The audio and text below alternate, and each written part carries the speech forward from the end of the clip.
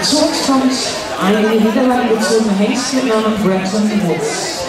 Ein Sohn des Johnson und seiner jüngeren Mutter. Besitzer des Pferdes Familie Verjährt aus den Niederlanden.